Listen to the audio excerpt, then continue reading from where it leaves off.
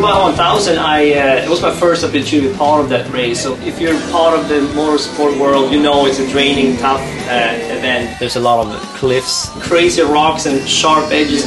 You might get into some really deep mud. We're talking the whole car can sink. And it was a, a mind-blowing event for me to see what the actual tires could do. We ran 450 miles of the harshest terrain there is down here in the Baja on the new KM2 and have had zero failures. On these wide open cars, we're on the new KM2s, and you know we just did a thousand miles, and the tires are still looking good, and, and with no flats. We designed that thing to take a ton of impact dead on. Your teeth will hurt. You will be able to hit things so hard, square up, and hit it dead on with the tread.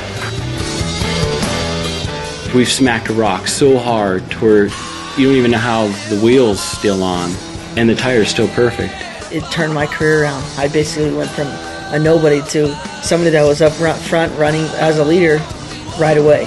And I went from never podium to being on the podium almost every single weekend. It's not by accident that BF Goodrich has won more championships in desert racing and, and rock crawling than all the other tires combined. We've just beat on this tire for, God, two weeks straight with, you know, zero failures. The consumer could feel good about that because that's what they're buying right off the shelf.